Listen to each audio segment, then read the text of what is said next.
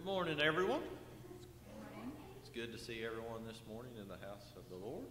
Uh, welcome to Mayo Memorial United Methodist Church, where we love God, we love people, and nothing else really matters. Uh, just a few announcements before we get started. Um, next Sunday, uh, we'll be celebrate, celebrating uh, All Saints Sunday. Uh, if there are any saints passed away in the past year that you would like to have recognized, uh, please get those into Connie at the office uh, by Wednesday so she can get those in the bulletin. Uh, also, uh, remember that next Sunday is uh, daylight saving time ends, so we fall back an hour next week. So please remember that so you're not late for church you'll show up and everybody's gone, I guess. Is that how that, one works? Uh, or no, you'll be an hour early. Ah, that's too much thinking. That's too much thinking. Um, also, today is our uh, fifth Sunday uh, offering uh, for the uh, United Methodist Children's Home. Uh, there's an insert inside your bulletin for that, if you would, and also an envelope you would like to give to that today, or uh, if you didn't come prepared today, you can give uh, next week uh, online. If, if, you would like to give, you can mail that to the church and just mark it as uh, the children's home. Uh, I think for the ones online, I will read the, the insert here. When Lee was 14 years old, she started running away from home. I just had to get out there, she said. My mother was physically abusive, and my grandmother was verbally abusive. Lee recalls the, that after running away more times than she could count, she appeared before a judge. After hearing about Lee's home life, the judge recommended she move to the Kentucky United Methodist Children's Home to keep her safe. If she ran away again, she would be placed into foster care.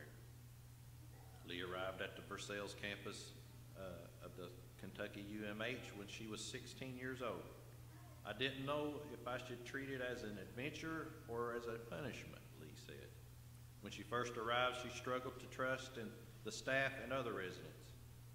Lee remembers in the first weeks, she would glance at an open window or door wanting to escape, but the words of the judge would come back to her.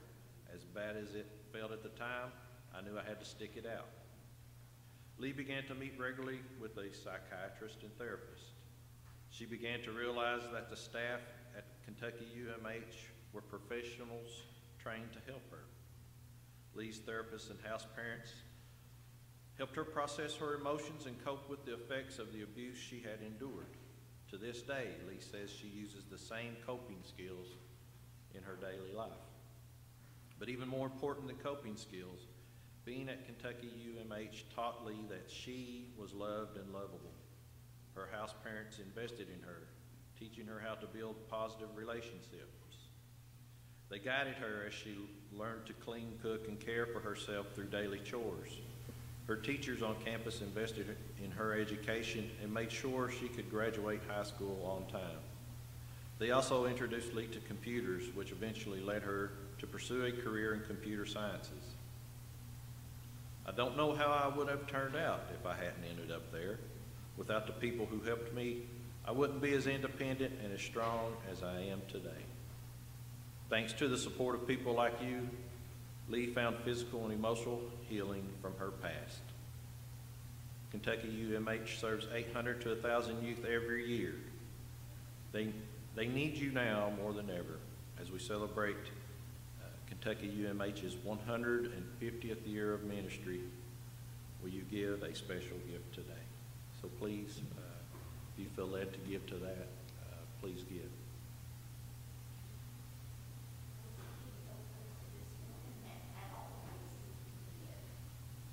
Oh, so there's a video online of how we can all give, okay. Uh, and are there any other announcements that need to be brought to our attention?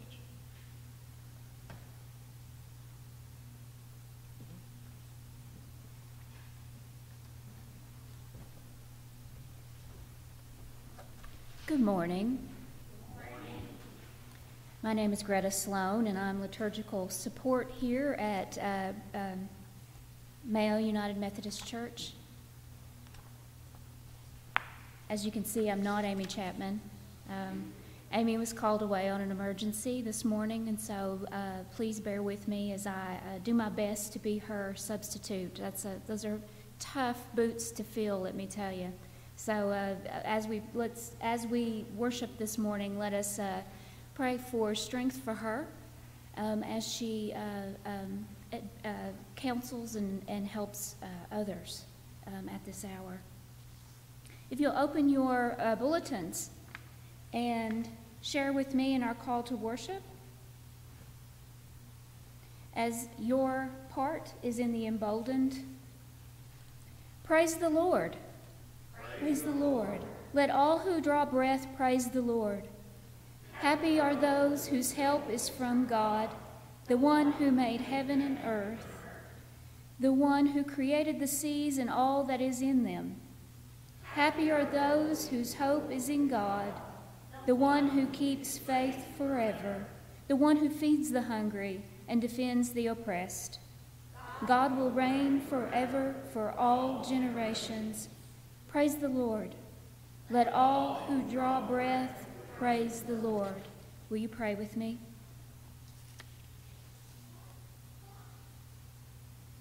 Heavenly Father, we gather here together in your name and in your honor and in your glory, and we just praise and worship you with our lives. Heavenly Father, we thank you for this time and for as a, a, another week begins that we are able to spend time together as your church in communion as one, and that you hear our prayers above and beyond all. You know our thoughts and you hear us, and we are so very grateful. May this worship be pleasing and accepting to you. In the name of the Father, and the Son, and the Holy Spirit. Amen. At this time, if you will rise as we acknowledge one another in the peace of Christ and begin to sing our hymn of praise, which is number 61 Come Thou, Come thou Almighty King.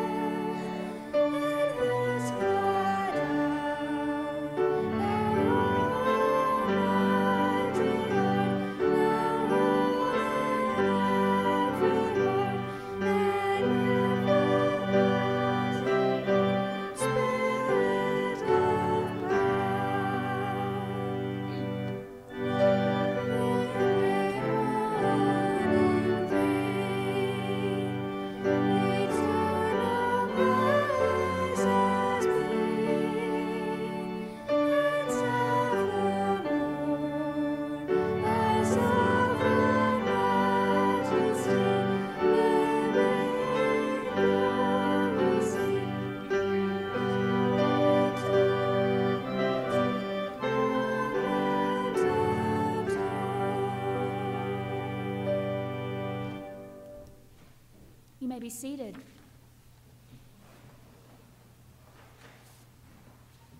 You're a beautifully trained bunch. You know exactly what to do. Um, at this time, let us go to the Lord with our praises and our concerns as we lift those up together as a congregation that is so very powerful. And so I'd like to ask uh, what is on your heart this morning.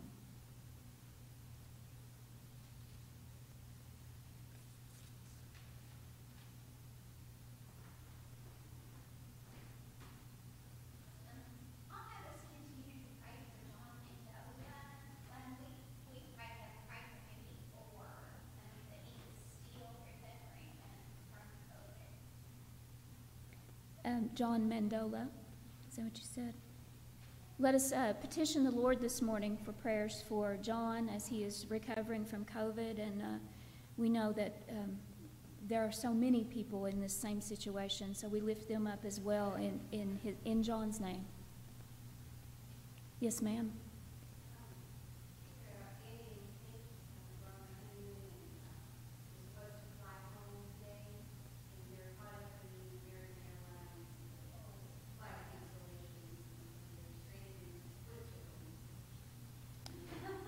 How horrible to be stranded in Switzerland. you said Annie and Kate? Let us pray for Annie and Kate as being stranded is bad, all right? Switzerland, not so bad. So, um, travel mercies. Pardon? Good point. Valid, valid. So travel mercies for them. Are there others?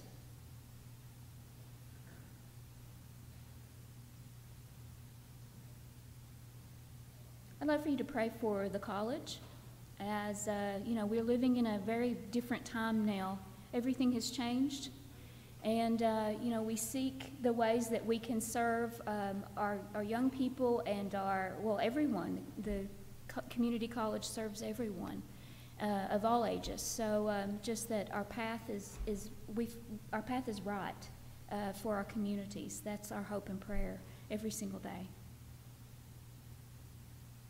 Are there any praises this morning?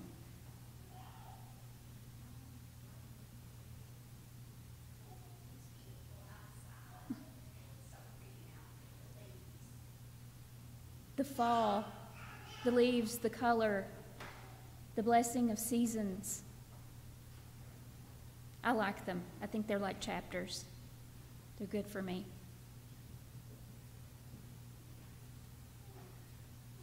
If there are no other prayer requests or joy uh, request or joy, what's the word? Statements of joy. Um, are there any online?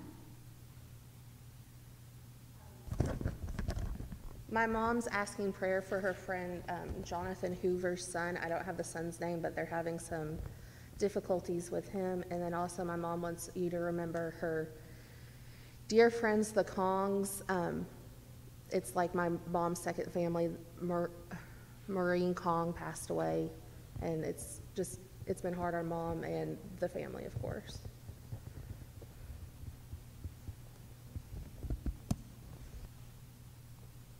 We remember Jonathan and we remember those that are in bereavement this morning um, as they are um, in relationship with Barb and others.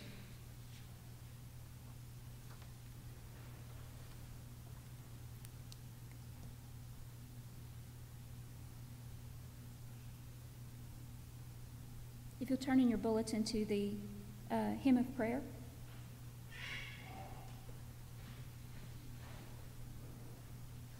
Música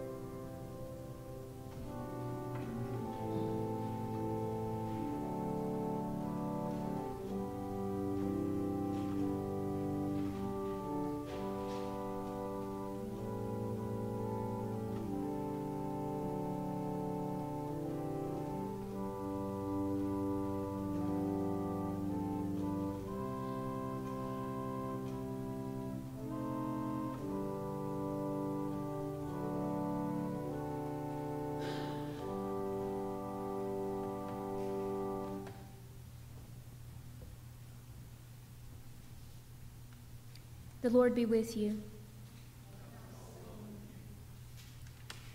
We thank you, Heavenly Creator, that we can come before you this morning and we can just lay our hearts on the line. That we can give you our concerns, that we can give you our worries and our fears, that we can rely on you, that we can ask and we can pray and we know that we can feel your presence, Lord. We know the difference in our hearts and in our bodies. We thank you for uh, enriching our lives in this way, that we can cast all of our cares at your feet. We thank you for this church this morning, dear Lord, and every person who is here. We are all your disciples, and we are all willing to hear your, your word and to do as you would have us do, Lord. We thank you and we pray for our communities. We pray that in the midst that we may begin to see and feel and hear and know joy and hope. And we know that that's possible through our faith in you. And we know that our, our love is reciprocated through your presence, Lord. And that we know that our communities are uplifted through that love. We just ask at this time that you would use us in these ways and that you would help us to be that source of light and of love and compassion. And our prayer concerns are many this morning, and there are so many unspoken. There are so many that we just can't even verbalize yet. The beauty we know is that we do not have to verbalize them in order for you to hear them, Lord. We know that in our prayer, and our personal and private prayer and communication with you, that you are sustaining us and you are hearing us every single time and how mighty that is, and how incredible that feels, Lord. And in that same spirit, we just ask that you will comfort and be with those that are suffering, those that are recovering, Lord, such as John Mandola. We just ask that you be with those in the world that are um, experiencing uh, unforeseen times, Lord. Those that are seeking travel mercy, such as Annie and Kate. We just ask that you would be with Jonathan and Barb and the, those in relation to Barb who are grieving, Lord. We just ask for your help. We ask for your help once again, and we know that you deliver in every single way, Lord. And we ask that you accept at this time the prayer that you taught us, your disciples, to pray by saying, Our Father, who art in heaven, hallowed be thy name. Thy kingdom come, thy will be done, on earth as it is in heaven. And give us this day our daily bread, and forgive us our trespasses, as we forgive those who trespass against us. And lead us not into temptation, but deliver us from evil.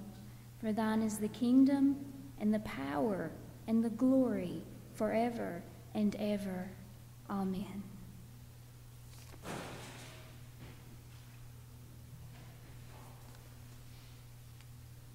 Our morning psalter comes from Psalm 146. This authorship is attributed to David, who at this time is a prince, Prince David. Praise the Lord. Praise the Lord, O my soul. I will praise the Lord as long as I live. I will sing praises to my God all my life long. Do not put your trust in princes, in mortals, in whom there is no help. When their breath departs, they return to the earth. On that very day, their plans there perish. Happy are those whose help is the God of Jacob, whose hope is in the Lord of their God who made heaven and earth, the sea, and all that is in them, who keeps faith forever, who executes justice for the oppressed, and who gives food to the hungry. The Lord sets the prisoners free, and the uh, Lord opens the eyes of the blind. The Lord lifts up those who are bowed down. The Lord loves the righteous. The Lord watches over the strangers. He upholds the orphan and the widow, but the way of the wicked he brings to ruin. The Lord will reign forever. Your God, O Zion, for all the generations. Praise the Lord. This is the word of God for the people of God. Thanks be to God.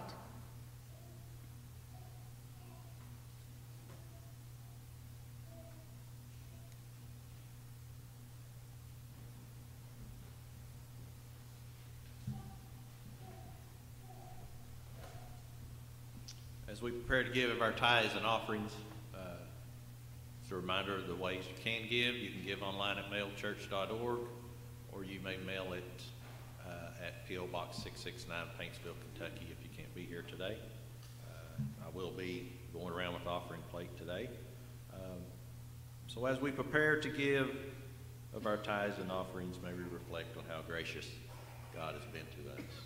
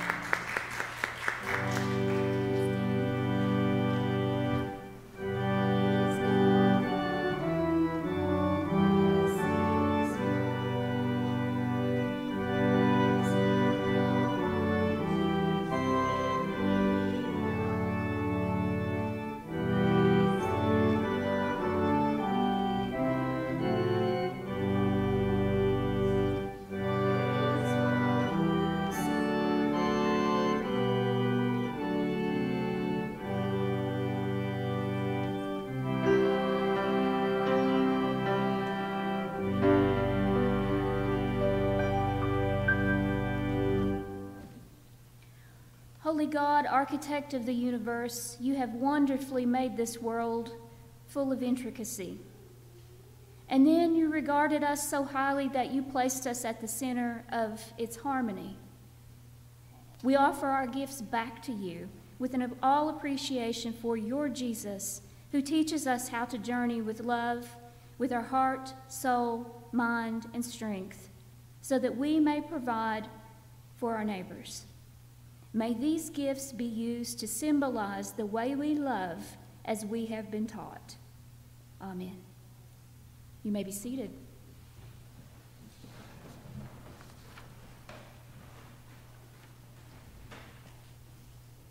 I don't have a sermon on First Kings.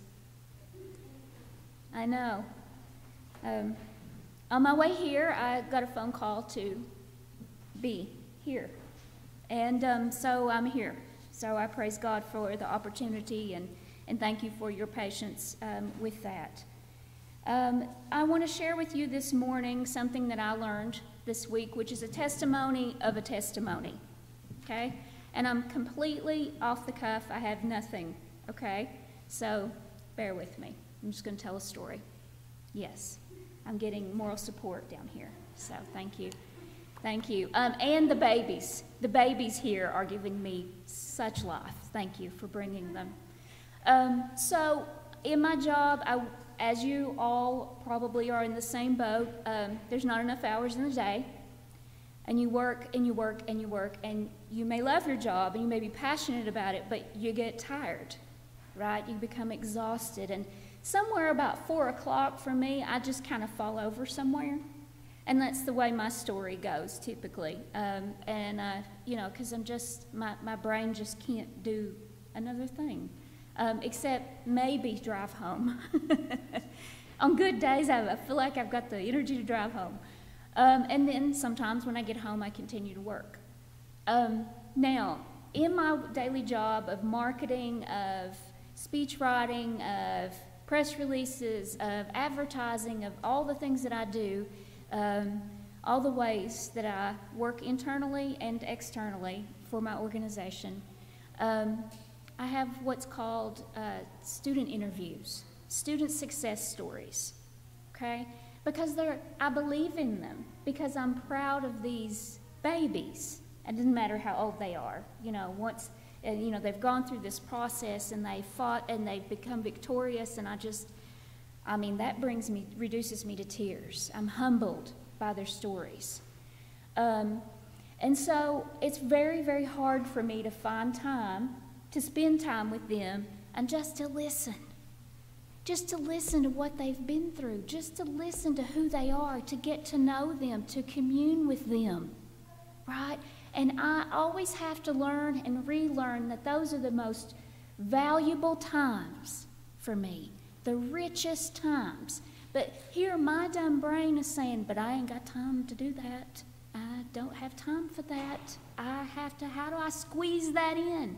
And that should be first, not last, right? Because that's where I find my life and my energy to do what I do. So this week was one of those weeks, and I had so much so squeezed this in that I had it at Friday at 3 p.m. I'm to go to a hospital and meet with a lady who is a housekeeper at a hospital, a local hospital, to talk about how her life has been transformed through our program of becoming a CNA. Okay? Now, part of me and, and she'll laugh about this. She'll probably hear this, listen to this. Um, part of me was hoping she would cancel. I'm going to confess that. Because, remember, at 4 o'clock, I'm ready to fall over. And I just, Friday, really? This, really? We're going to do this? And maybe I was hoping she was as tired as I am. All right, and I use my brain all day but imagine how tired she was at the end of a week using her back and everything and mopping and sweeping and all the things, sanitizing, extra, everything she does physically to keep that hospital safe. How dare I? Right? Um, so, but that's who I was that in that moment. So I text and say, I'm on my way. Are you sure you can meet? Fair, right? in my defense, need to know. She still wants to do this. That's not what I was thinking. I was thinking, oh, I could just go on home. And she says, Well, I'm excited and I'm nervous and I would want I want to cancel, but it's but I wouldn't forgive myself if I canceled. And I still didn't. I thought, okay. And I'm just going to keep driving, not thinking, I mean, you know, shallow how here. Okay, great, fine, whatever. So I pull into the hospital, and she has just finished a 12 hour shift, which means what? She started long before I was even awake, right? And she makes time for me, and she brings me into the um, uh, cafeteria um, space and she sits down and she's a nervous wreck to see me. And we sit down together and she looks across the way and she sees a waste can and a little piece of gum paper on the floor. And she says, Wait a minute. And she walks over and gets that piece of paper and puts it in the trash. And I thought, all right, this is the beginning of my lesson here. This is somebody extraordinary in our day, in our time, in COVID, and in exhaustion. Right? And she tells me, begins to tell me about a life of her mama praying. And she says, I am the result of a mama's prayers. And we start having church. But in my mind, I'm thinking, okay, but how am I going to write this story for a college about a mama's prayer? You know, that separation of stuff in the world. And I'm thinking, wow, okay, my writing brain's trying to spin this out already. And she starts to tell me about how she had a praying mama. She grows up, she goes away to college, she makes all the wrong choices. She has this curiosity. She gets with the wrong crowd. You know the story. We see this. I see the story a lot. I can tell you that. Um, and you know, her mom kept praying, and then she was sexually assaulted. And as a result of that, she quit school. She's 18. She quits school, doesn't know how to deal with this, comes home, doesn't press charges, which happens so often, and begins a life of drugs. To cope, to try to figure it out, to try to know how to do, to try to know how to function, to try to know how to get up in the mornings. And she has this supportive mother throughout her time. And her time as 15, 18 years as a drug addict. And she says to me along the way, and I don't want to draw this out, but I hope I'm spinning a, this for you because she's so important to me. She says, um, if there is a heartbeat in a chest, there is a soul in that chest of the human. Because I ask her, do you believe, do you think, what do you think about drugs taking over? Because sometimes I hear in our society, well, there's no soul in there anymore the drug addict. It's a questionable, it's a, it's not a biblical, it's a questionable human thing. And that's when she told me if God ordains your heart to keep beating, there is a soul and there is a purpose in there every minute of your life. And she says that to me after 14 years of sobriety. 14 years. She said there was one point in her life that she was out running around and she just saw something that she says was the result of prayer that said, I can't do this anymore. I cannot do this anymore. I'm tired. And she said, I knew that if I went home to my mother up in the middle of nowhere, that would be much, much harder than a rehab. And she says, I'm not against rehab at all. I just knew that my mama would make sure if I surrendered that I could become clean. And I said, Didn't, but didn't you suffer physically? And she said, I suffered for months and months physically. And there were months and months when all my mom could, when, when all that happened was my mom made sure I ate and I showered. She took care of me. She never gave up. She saw the will in me and did not stop. And I think about that as the Father's love. The Father never stops with us. God never stops, never gives up, no matter what, no matter, even though the Father knows what we're going to do in our lives. There's no point in time. And that's incredible. That's a, a, a, miracle. And I was seeing this miracle play out in this story that was being told to me. And through violence, through addiction, through everything. She said, You know, you hear stories about addiction, and I can tell you they're all true, and it's worse. It's worse than that. And this hospital gave me a chance to be a housekeeper, knowing that I was a recovering addict. They gave me a purpose. And I'm not, I, am happy cleaning and doing housekeeping and doing laundry and that sort of thing. I'm humbled by it. I'm still grateful for it. That was the word she used. I'm still grateful for this job. But I saw a flyer here in the hospital, and it was for people who wanted to become more. And I kept thinking as a housekeeper that there was so many people that were coming into this hospital that I could see were addicts. But I couldn't talk to them because I'm a housekeeper right? There's stuff I'm not supposed to do, I'm not supposed to know. And she said, they may be coming in the hospital for completely different something else. But so many people I see come in here have an addiction. We can spot each other, we see each other. And she says, I believe that that is the Holy Spirit that allows me to see someone else who is suffering, and I just want to be able to support them. Because I had a praying mama They never stopped praying for me. Maybe they didn't have one. Maybe that no prayers went up for them. Maybe they rejected that.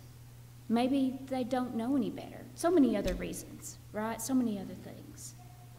And so, as I move forward in writing this story today and sending it to the press tomorrow, I just ask that you pray in this process and that you lift up Missy because she's got the courage to be in the newspaper and talk about this stuff, about how her life has been redeemed, about how she has new purpose as a CNA.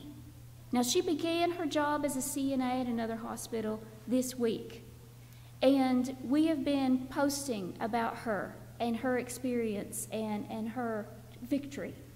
This is a victory for her. And I said to her, Do you see yourself going on? Because in, in, in, uh, in education. She said, I would love to be a nurse, but I just want to be able to talk to people first. So we'll see how that all goes. But we can't give up on people. That's the truth, right? Because we are never given up upon. Given upon. Well, I say that. God never, she's, she you, you threw me off. I know, I knew I, I knew I would. Periphery here. No, I'm just playing. Yay. I think about Ephesians, and I think about our, our uh, Psalter today. Ephesians 6:18 says, "And pray in the Spirit on all occasions with all kinds of prayers and requests. With this in mind, be alert and always keep on praying for all the Lord's people. Be alert." In your prayers. See to see, feel the knowing, know where you're needed. Thank you.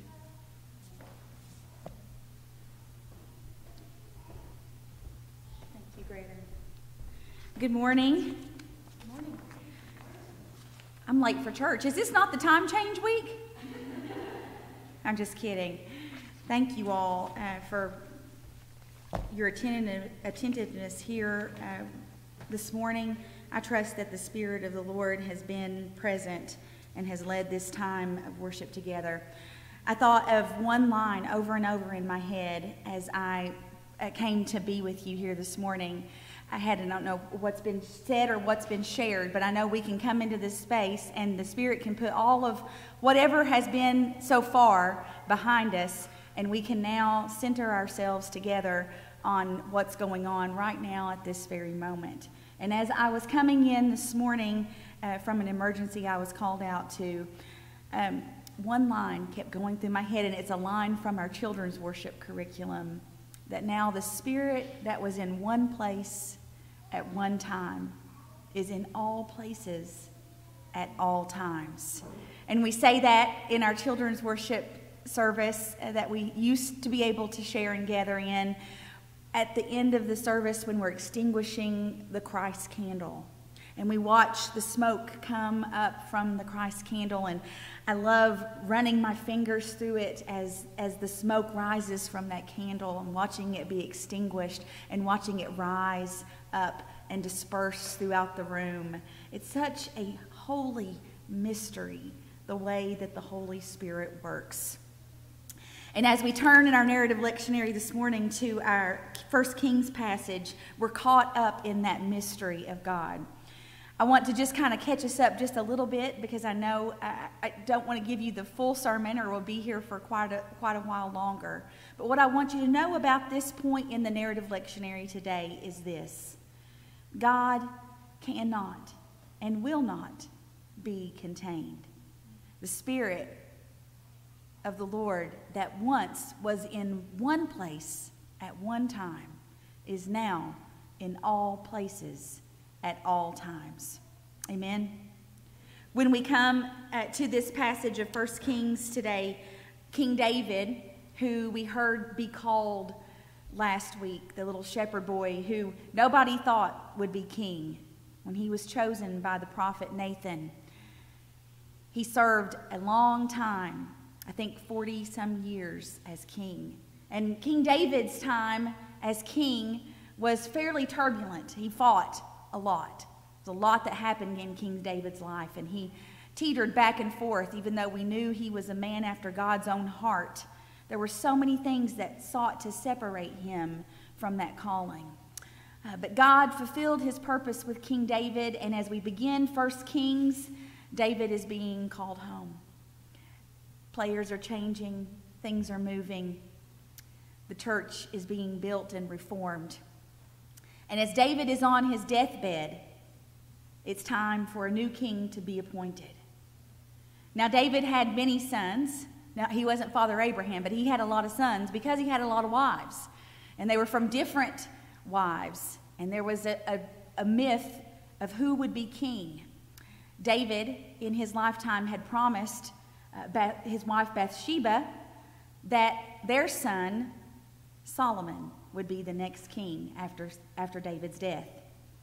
Now, Adonijah thought that he should be king, and so he went ahead and uh, took that responsibility upon himself, had a parade, and thought he was the king. However, we come back to the prophet Nathan. Nathan comes back in the picture and he goes to Bathsheba, and he and Bathsheba decide they need to go to King David. They need to remind David of his covenant with his son Solomon, that Solomon would be the next king over Israel and Judah. And so it happens that Solomon indeed becomes the king, and he is given the gift of wisdom. And he is given the gift of peace. Solomon's name in Hebrew literally means shalom. When you pronounce it in Hebrew, it sounds more like shalom than Solomon. So Solomon's kingdom was one of peace. And he lived a long, peaceful, wise time as king over Israel. And one of the things that Solomon was charged with in, this, in his reign that he took upon himself was to honor his father to finish what he had started. And that was building a place, building a temple for God. And Solomon took David's plans and followed them to the T, followed them to the letter, that God would come and dwell with them. And the Ark of the Covenant, which David had brought home out of battle, was moved into this space of the temple. And sure enough, God remembered his promises to his people, and a dark cloud enveloped the space that Solomon had built according to the Lord's plans that the Lord had given to David. And so here we have in 1 Kings the temple being built. Now you know that this temple didn't last. Some 400 years later, Solomon had made relations with persons of other nations. He actually ended up marrying Pharaoh's daughter in Egypt. And so immediately, though Solomon was wise, he made some poor choices throughout his time as king. And those choices, even though he lived a season of peace as king, they came back to bite his people. And 400 years later, we'll see the temple destroyed by Babylon, by Nebuchadnezzar. That's a ways down the road. And we come back now to this time of realizing that God cannot be contained, don't we? So here we have God in all his fullness, they think, in this one place. But God had a bigger and better plan. This presence of God is a foreshadowing that we would someday be temples, that God's people would be the dwelling place for God. Because God's presence cannot be contained in one place at one time. And so God sends Jesus into the world that you and I might be a dwelling place for the living God. How wonderful is that? I think so much today about this process of reformation within the church. This is a, in the Protestant denomination, typically Reformation Sunday.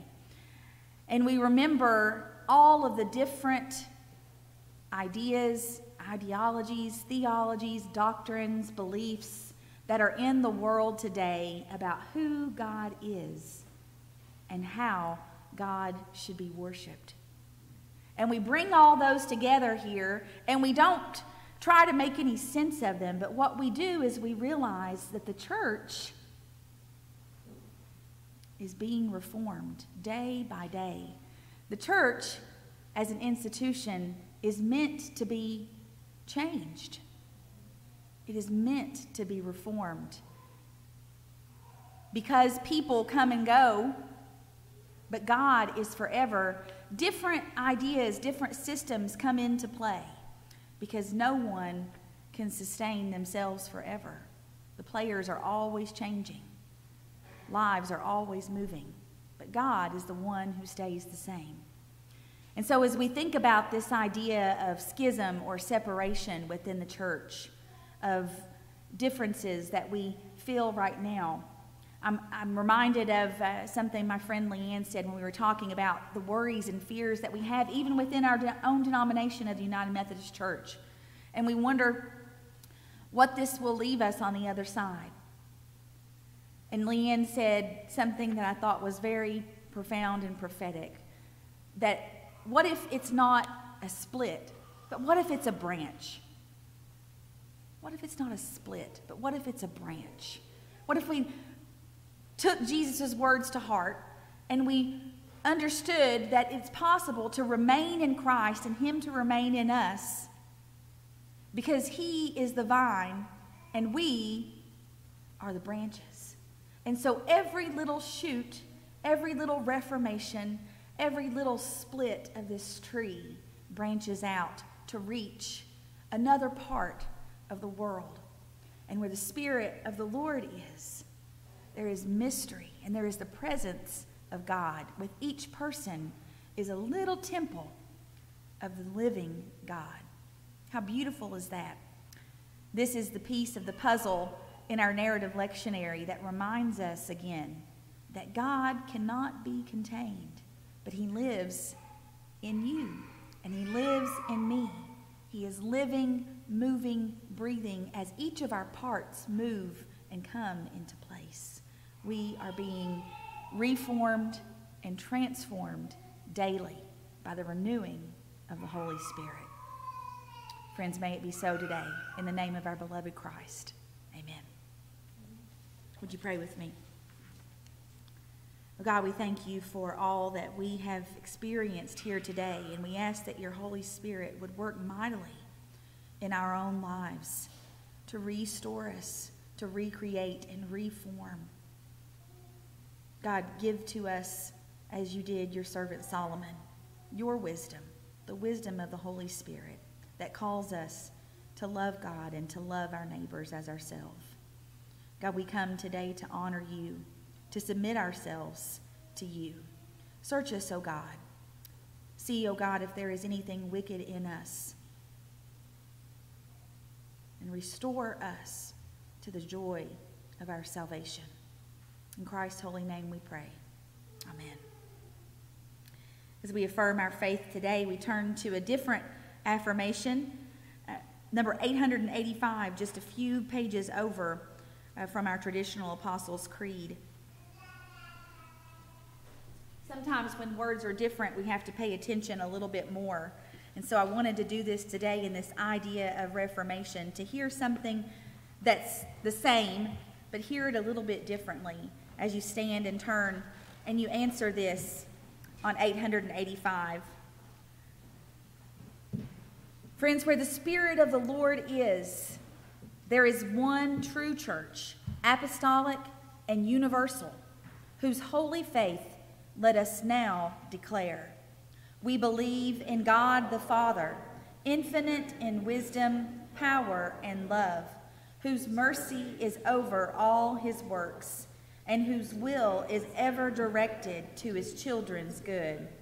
We believe in Jesus Christ Son of God and Son of man, the gift of the Father's unfailing grace, the ground of our hope, and the promise of our deliverance from sin and death. We believe in the Holy Spirit as the divine presence in our lives, whereby we are kept in perpetual remembrance of the truth of Christ and find strength and help in time of need. We believe that this faith should manifest itself in the service of love as set forth in the example of our blessed Lord to the end, that the kingdom of God may come upon the earth. Amen.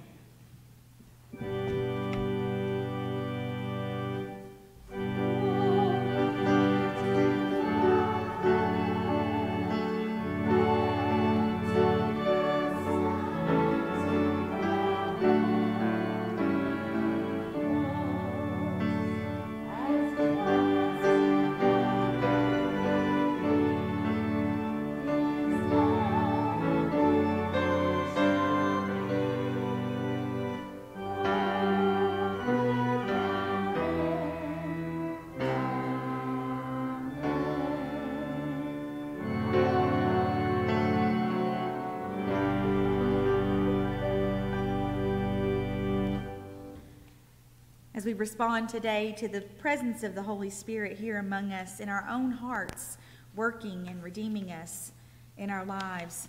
Our hymn of invitation is number 330, 354, and it's a call to submit ourselves to God in the spirit of surrender.